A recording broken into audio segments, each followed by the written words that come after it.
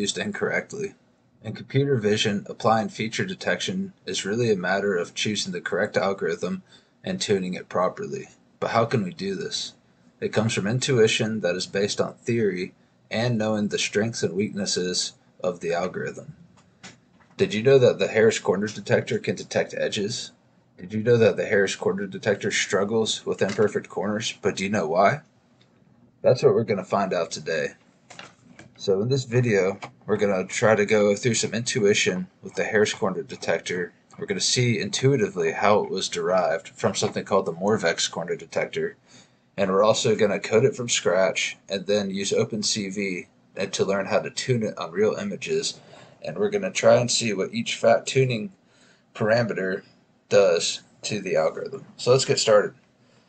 So a corner is where two edges meet together. So we see we have a, a vertical edge here and then a diagonal edge here that meet together to make a corner.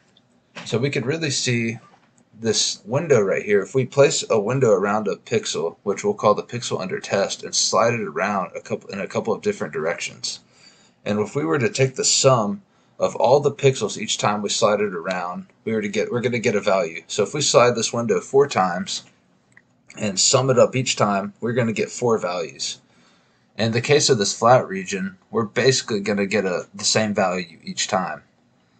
So if we're going to put our pixel under test on an edge, if we slide it up and slide it down, we should get a similar value. But if we slide it left and slide it right, we should get different values from where we originally had our window.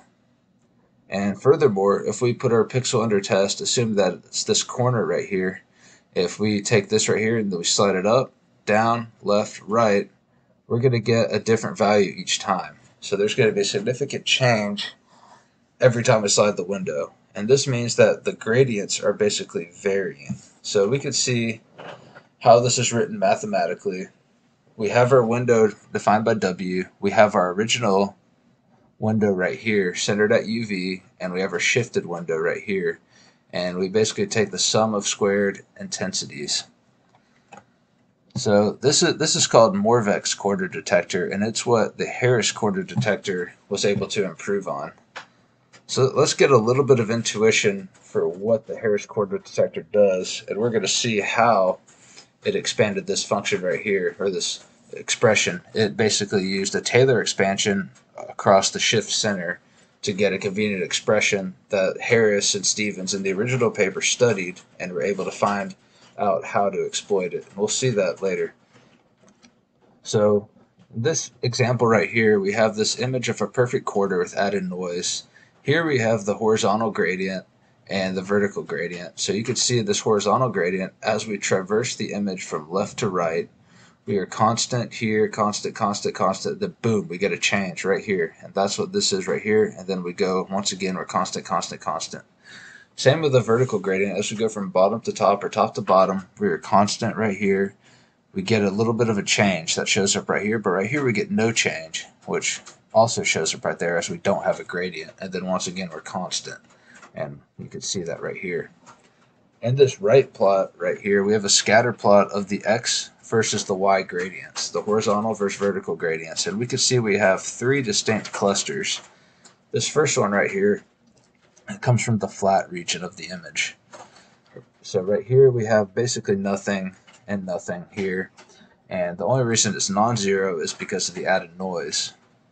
And this top part right here, we have the large vertical gradient, and this part on the right, we have the large x gradient or horizontal gradient. So you could see that because we have a corner right here, we have a large variation between the x and the y gradients. And that kind of goes back to Moravec's detector, where as we shift, no matter where we shift, we have a large change in intensities. And that is basically, this is basically a more mathematical way to describe that large change in intensities. So let's also look at an example with just a horizontal edge we can see that we have a large vertical of change in intensities, hence this large vertical gradient, but not much in the horizontal gradient. The horizontal gradient is just noise. So how do we efficiently get these gradients? This is great for intuition, but how can we do this and be computationally efficient. Better yet, how do we do this for every pixel in an image like Harris does?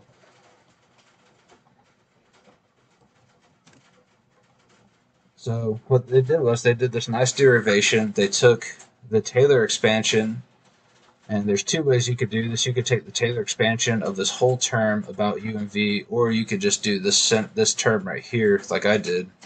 And basically, we get this quadratic right here, where we have the this a, c, a, b, and c are the product of derivatives. So we have the product of two horizontal derivatives, the product of two vertical derivatives and the product of the horizontal and vertical derivatives in the off diagonal axis. So what they, they could do, what they did was, is they studied this quadratic, and it turns out that in this quadratic format, you could describe it with the eigenvalues. So the eigenvalues are going to determine the variance in each principal direction. And in this case, the eigenvalues are going to determine the total variation of all the of the image gradients in all directions. And it turns out we could use this to classify whether a pixel is a corner or a flat region. So right here, if we have two small eigenvalues, it's going to be flat. So if we're change, if we're shifting our window around and not getting much change or not getting much variation, we're in a flat region. If we get a change in one direction and not the other, we're going to be on an edge. And if we get changes in all directions, we're going to be on a corner. So it turns out that you know computing the eigenvalues is computationally expensive, but it turns out that we could actually exploit some matrix properties that allow us to not compute the eigenvalues. So Harris and Stephens came up with this empirical thing called the corner response, which is the determinant of m minus k, which is a hyperparameter hyperparameter times the square of the trace of m. And it turns out the determinant of a matrix is equal of this matrix equal to the first eigenvalue times the second eigenvalue, and the trace is the first eigenvalue plus the second eigenvalue. And we could actually, this is actually what is used to compute the Harris corner response. So right here, we have an algorithm to, com to compute it. We just compute the horizontal and vertical derivatives, then the products, and we apply a smoothing kernel. So if we don't use any smoothing, we get a lot of noise. And any type of smoothing will do. And this is one of the improvements that Harris made to Moravec's corner detector. And then we simply compute the response, and then we threshold. So we want to set another hyperparameter, some threshold, where this response is greater than a certain value to get a corner.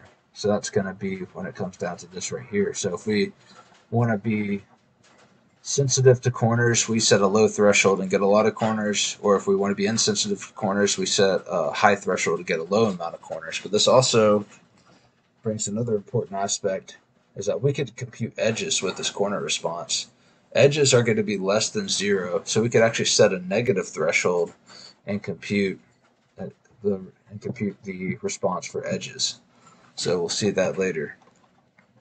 But I actually want to bring up another trade-off and we could see with some test windows. So the algorithm is nice because it exploits the matrix properties that allow us to not compute the eigenvalues.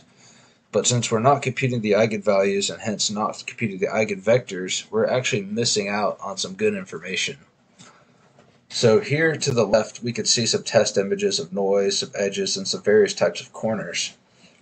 And we can see their scaled eigenvectors right here. So their eigenvectors scaled by their eigenvalues. And we could see for these regular types of image, regular types of you know test images, the flat surface, we have basically nothing. They're both going to be small. The edge, we have one super large eigenvalue denoting the super large variation and same with the vertical edge and the other eigenvalue is very small but you can see for these different types of corners that there's a rotation for each of them now this corner on the left could be a good feature to track as with the sharp corner right here but this blunt corner this is almost like an edge and we might not really care about it but this sharp corner right here seems like it could be a really good feature to track as it could come from a real you know, if this was actually in a real image or something similar to this in a real image, it could come from a real object rather than a shadow or something abstract, little, you know, not reliable to track. But this also brings up something right here. We do have a large eigenvalue representing the variation in this direction and a small eigenvalue here. And this also brings up an issue that we could actually misclassify the sharp corner, aka this good feature to track, if we're not careful. So, and this is a weakness of the Harris corner detector that we can't really do much about besides tune hyperparameters. It's inherent this information is inherently not present in the detector, so we don't have this rotation information. So that is another thing that could be improved upon, but we're going to leave that for another time. So here, here I have some code, and all I do is I just have this thing where we could just change the different different values of k to see how it responds. So ba basically, the value of k, if we have a large k, we're going to be less sensitive and get less corners. If we have a small k, we're going to be more sensitive. There's not much to see there.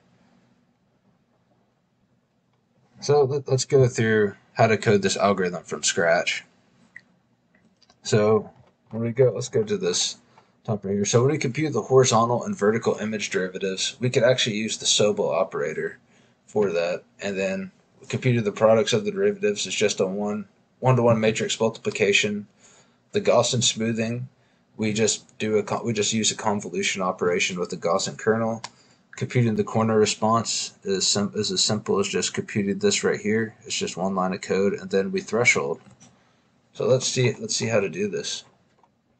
So here's our kernels. Here's our Sobel X and our Sobel Y, which is just the transpose of a Sobel X. Here's our Gaussian kernel right here. And here's our function for the corner response.